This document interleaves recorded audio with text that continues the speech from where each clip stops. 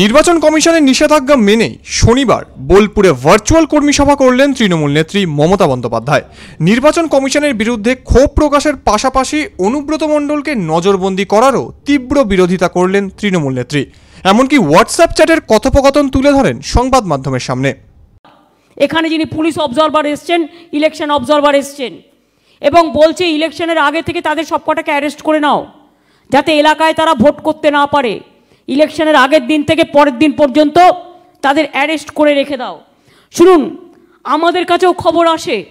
WhatsApp group থেকে মনে রাখবেন, ওরা অনেকের সাথে অনেকে কথা বলে। কোথার থেকে পেয়েছি, না পেয়েছি সেটা তো আমি বলতে যাব না। তো অফকোর্স গভর্নমেন্ট সোর্সে নয়, আমি কোনো সংবাদ মাধ্যমের সোর্সে পেয়েছি। এই দেখুন সমস্ত হোয়াটসঅ্যাপ চ্যাটের কথাবার্তা, আপনাদের আমি দেখাচ্ছি। Anybody can come and anybody can see অবজারভারদের হোয়াটসঅ্যাপের চ্যাটের কথাবার্তা। দেখুন, তারা ইনস্ট্রাকশন দিচ্ছে। কীভাবে? ট্রাভেল মঙ্গারের নাম করে ডিটেনশন ক্যাম্প ডিটেনশন করে রেখে দিতে হবে। আর কাদের? উল্লেখ না থাকলেও বলা খুব স্বাভাবিক। তৃণমূলকে বলা হচ্ছে তৃণমূল গুনস এক জায়গায় বলা হচ্ছে Trinamool goons are not allowing not allowing BJP workers তার মানে ইলেকশন কমিশনের লোকেরা এসব করতে পারে? এসব কাদের কথাবার্তা? এটা সুদীপ জৈন, বিবেক দুবে অবজারভার এবং আমাদের ডিএমএসপিদের মধ্যে, পুলিশ অবজারভারদের মধ্যে যেসব কথাবার্তা হচ্ছে, ওদের ওদের হোয়াটসঅ্যাপ গ্রুপে ওদের চ্যাটে একজন সাংবাদিক আমাকে এটা দিয়ে গেলেন। নিশ্চয়ই ওদের গ্রুপ থেকেই কেউ দিয়েছেন। বিজেপির গ্রুপ থেকে কেউ দিয়েছেন, কারণ বিজেপি এটা সবটাই জানে। সেই বীরভূমে কেষ্টর ওপর ওদের বহুত রাগ। প্রতিবার ইলেকশনে কেষ্টকে নজরবন্দি করে রেখে দিচ্ছে।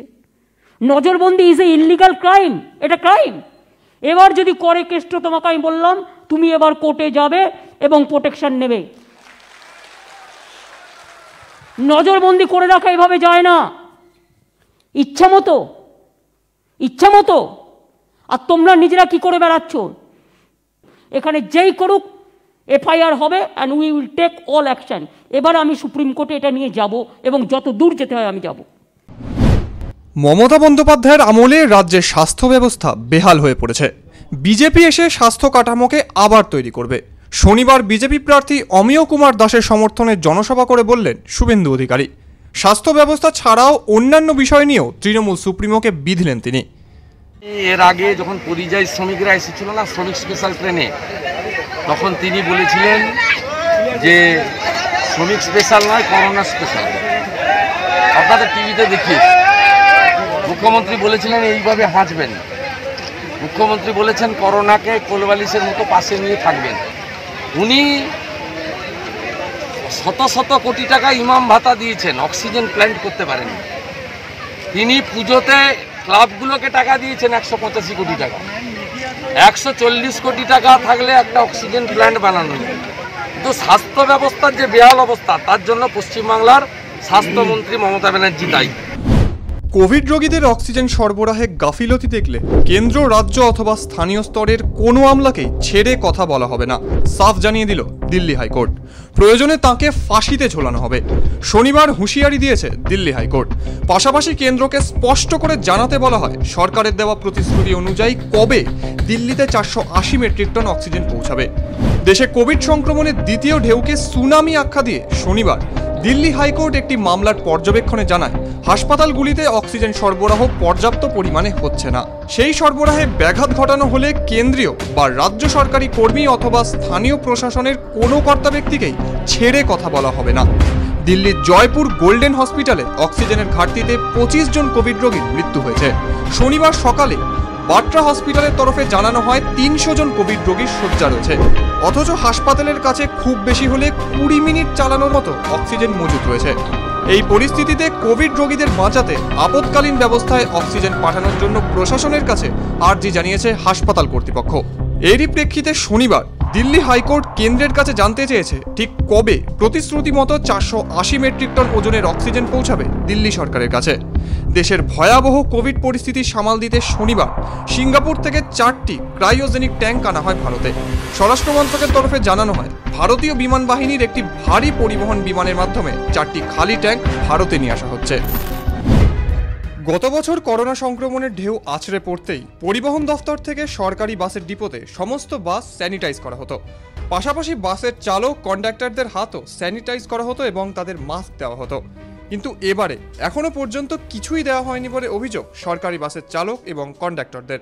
এর পাশাপাশি বেসরকারি বাসেও কোনো স্যানিটাইজ করা হচ্ছে না। স্যানিটাইজার, লকডাউনের পরে যখন চালু হয়েছিল, দুবার পেয়েছি ছোট ছোট বোতলে একশো এমএল। শেষ হয়ে গেছে, তারপর থেকে না স্যানিটাইজার না কোনো মাস্ক না কিছু। কোনো কিছুই পাচ্ছি না। কোনো কিচ্ছু না না ড্রাইভার না কন্ট্রাক্টর ডিপোতে কী আছে জানি না, কিন্তু আমি বর্তমানে যে ডিপোতে আছি, সেই ডিপোতে কোনো কিছু আসছে না। কোনো কিছু, কোনো খবরও নেই যে আমরা পাচ্ছি না। আমরা কয়েকবার বলেওছি, আমাদের নিজেদের পয়সা এইসব মাস্ক নিজেদের পয়সা হাওড়া বাস মিনিবাস সমন্বয় কমিটির সভাপতি নিখিলেশ মুখোপাধ্যায় স্বীকার করে বাস থেকে সংক্রমণ ছড়াতে পারে। গত বছর হাওড়া পুরসভা থেকে তাদের বাসগুলিকে স্যানিটাইজ করে দেওয়া হতো। কিন্তু এবারে পরিবহন দফতর অথবা পুরসভা থেকে কোনো নির্দেশ অথবা ব্যবস্থা নেওয়া হয়নি।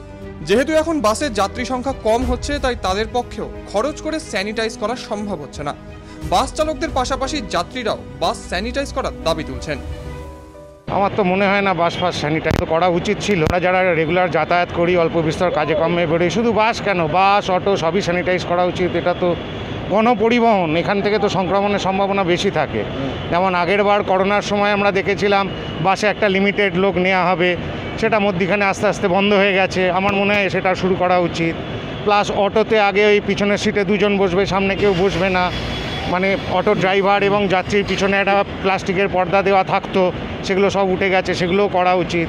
স্যানিটাইজ তো অবশ্যই করা উচিত। আগের বার শুনেছিলাম বাস দু তিনবার স্যানিটাইজ করা হচ্ছে দিনে আমার তো মনে হয় না এখন আর করা হচ্ছে বলে।